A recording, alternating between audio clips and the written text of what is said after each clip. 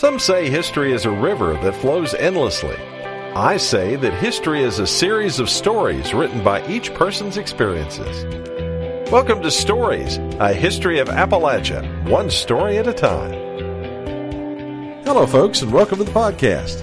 I'm Steve Gilly, along with Rod Mullins. And in 1923, two women were elected to the Virginia House of Delegates, the first women to achieve that office in the state. Today, we're going to tell the story of one of them, a lady by the name of Helen Timmons Henderson, who was elected to serve from Russell and Buchanan counties.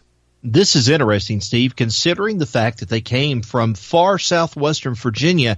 That's kind of unheard of for the time. Well, you know, I think far southwestern Virginia was a bit more progressive back then than you'd think, to be honest well, with you. That's the way it sounds by this. So let's hear it. All right. Well, Helen Timmons was born in Cass, Missouri on May 23rd, 1877, but not by design, Rod. See, her parents were natives of Jefferson County, Tennessee, and they'd been visiting friends in Missouri at the time of her birth. Well, Helen came back to Jefferson County and attended Carson Newman College in Jefferson City, studying to become a school teacher. It was there that she met her husband, who was also her professor, mm-hmm, Robert Henderson. Well, we won't say anything about that. But after Henderson married, they left East Tennessee and moved to coal country. In fact, they moved to Buchanan County, Virginia. Now, using her training, she decided to found a school for the youth of Buchanan County in order to provide them with a proper education, which she felt that they lacked. And thus, the Buchanan Mission School, which later would become the Mountain Mission School, was founded in the little town of Council in 1911. Now, there, Helen served as assistant principal, and there, later on, the teacher and her husband became the principal. At this time, early in the 20th century, the mountains of far southwest Virginia were covered with forests, overlaying vast coal reserves which stretched from East Tennessee through West Virginia and into Pennsylvania.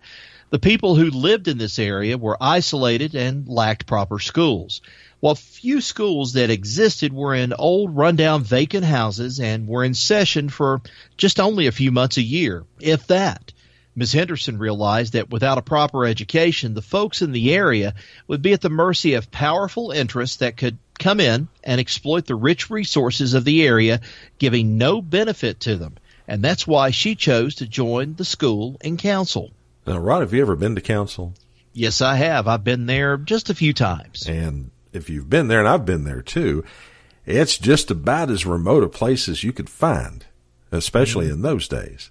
Mm-hmm. Well, the town lays at the base of Big A Mountain, which, Rod, isn't the original name given to it, is it?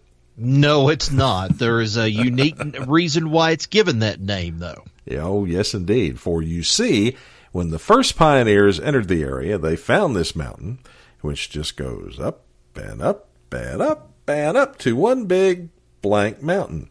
Fill in the blank. Yeah. yeah, we just won't fill it in right now at this point. So. There were no schools, no real roads, and no opportunities for the residents of the town.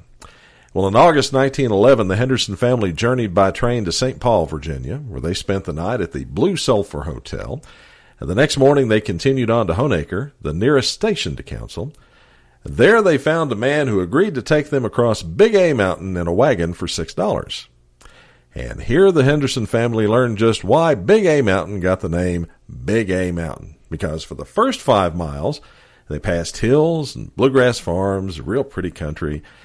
And they, you know, they didn't really believe the tales of how hard it was to get up over that mountain.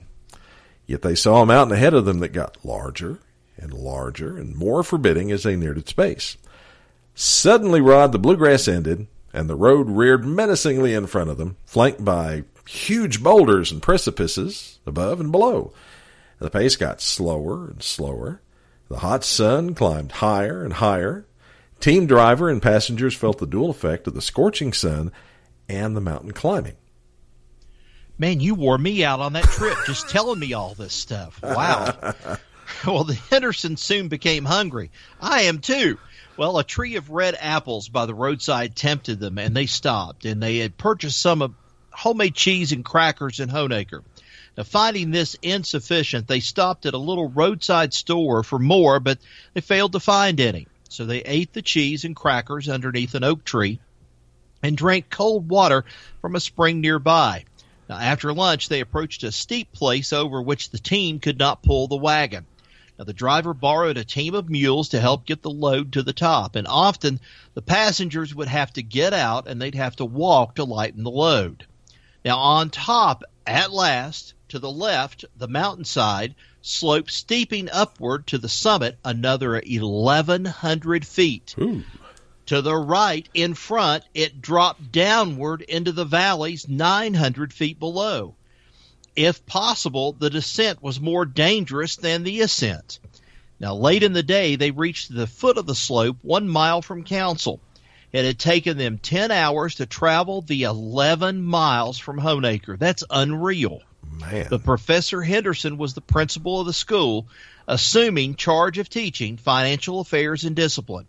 Mrs. Henderson was the assistant principal. Her duties included care of the health and welfare of the students, supervision of the dormitories, religious and social life of the school, and serving as speaker in public meetings. Well, you know, she did such a good job organizing and running the school that local Democratic leaders tapped her to run for the Virginia House of Delegates and to make history as the first woman elected to that body. And she accepted the challenge. Wow. Helen Henderson took to the campaign trail in Buchanan and Russell counties traveling around the coal fields, making political speeches and meeting and greeting everyone she could. Helen became known as an excellent campaigner and a fine public speaker as well. Now, she also used a new innovation at the time in campaigning by driving her beautiful little Ford Roadster from place to place in the two counties in order to make just as many campaign stops and speeches as she could. In the end, on election day, she trounced her opponents by a margin of over 400 votes although word of her victory, uh, understandably, took two days to reach the town of Council because it was so far up in the mountains. Now, interestingly, the Richmond Times Dispatch wrote of Henderson's opposition as being from, quote, some independent Democrats, Republicans, and wets. As you know, at that time, prohibition was a big thing. Mm-hmm. She was in support of prohibition. Helen took her new job seriously. She told the Times Dispatch, quote, I'm not in the legislature for publicity. It's simply a question of public service with me and a duty that I owe to the people back in those counties which have elected me. I'd love to see her in that Ford Roadster. Oh, yeah. I'd say she That- tooled out just fine over those roads. I'd say she did too. Well, Ms. Henderson quickly earned a reputation for strenuously advocating for the interests of far Southwest Virginia, particularly when it came to needed public improvements. And it's always been one of those things, especially in far Southwestern Virginia, like roads and given her background, public schools. One of her first accomplishments, ironically, was approval of a new road, 6.2 miles long, along the same route she traveled when she first appeared in Buchanan County, over Big A Mountain. We won't say the word here, No. but stopping at the school gate there in Council, which connected the town to the world. That new road is Virginia Route 80, still used today, and incidentally, part of a coast to coast bicycle route called the Transamerica Bicycle Trail, or in Virginia, Bike Route 76, traveled by hundreds of cyclists crossing the country every year.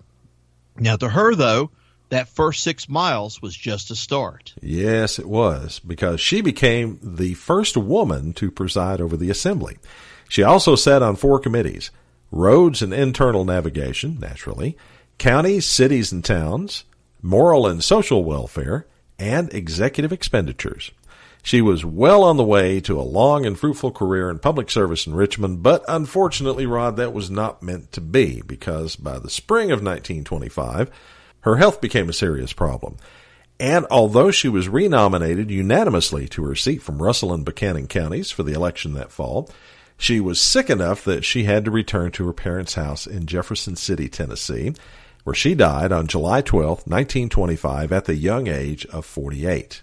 Wow. At her death, Governor E. Lee Trinkle praised her many virtues, clear vision, and noble aspirations, and ordered flags at the Capitol building in Richmond to be flown at half staff in her honor.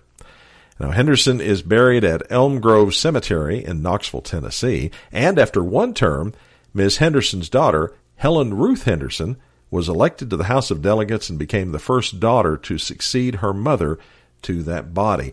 And let me make this clear too. She was the first woman to serve as president of the House of Delegates. Okay. She was not technically the first woman to be elected because there were two women elected that same year. She was one of the two women who got elected. Wow.